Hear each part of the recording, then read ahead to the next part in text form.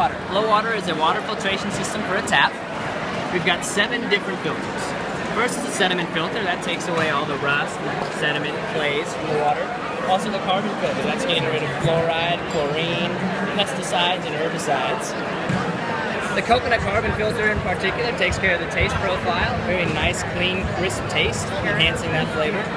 The activated oxygen and mineral enhanced electrolytes are going to help you hydrate faster, more efficiently.